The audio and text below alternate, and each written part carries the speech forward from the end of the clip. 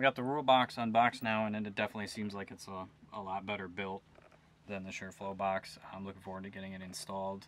I'll give you a quick overview of what this one's all about.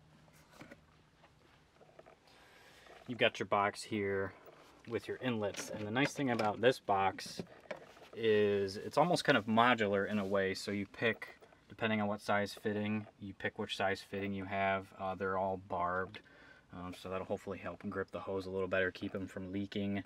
Um, this is your out the pump out overboard and it has a little it's almost like a check valve i think they call it something a little different but it's got rubber flaps on it and the idea is when the pressure um, with the water coming back towards the pump after the pump shuts off that those seal up and don't let the water make it back into your box um, and then a couple of these here are sealed off so they'll need to be cut off if you need to use them which in my case I'll need one additional. So this one's already open. I'll have to cut another one off here.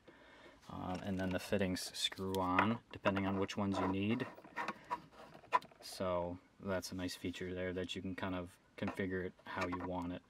Uh, they've got a rubber washer on them to help with the seal there as well. So hopefully won't have to use need to use PTFE tape uh, there's a strainer here strainer comes out for cleaning pretty straightforward there a rule pump which um, seemed to be the name brand to get when you need a pump uh, float switch. It's a little different style float switch, but um, just judging on when it clicks on and off, I already feel like it's going to do a lot better job than the Shurflo. So I'm looking forward to getting this installed so we can more reliably use our air conditioning in our boat because while it may be September and it's getting towards the end of boating season, it's still hot here in Ohio. It's probably 75 today and with the sun in this cabin, it just gets hot and between me and my fiance, we just we don't not use our air conditioning. Uh, we use that a lot, especially in in July when it's pushing 90 degrees here in Ohio. So I'm gonna go ahead and rip this Shurflo one out and get this Rule one installed, and hopefully have a lot better results.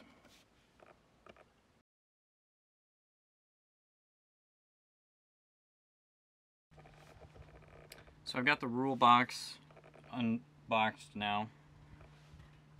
Hey guys,